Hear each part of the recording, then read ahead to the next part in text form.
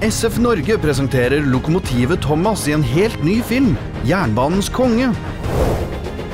En spesiell gjest kommer på besøk. La meg presentere sir Robert Norraby, greven av Sodo. Greven har et eget tog. Er du Millie?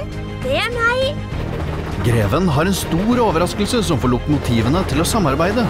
Trekke sammen? Trekke sammen. Trekke sammen? Og det nyeste lokomotivet på Sodor Møt min venn Steven. Overraskelse! er kanskje det eldste de noen gang har møtt. Så du noen gang riddere i blank rustning? Nei, jeg er nok gammel, men ikke så gammel. Stevens oppdrag er veldig viktig, men kan føre til problemer. Ta det med ro, Steven! Jeg kommer for å redde deg! Opplev den helt nye og spennende filmen med lokomotivet Thomas på kino. Lokomotivet Thomas, jernbanens konge, på kino 4. oktober.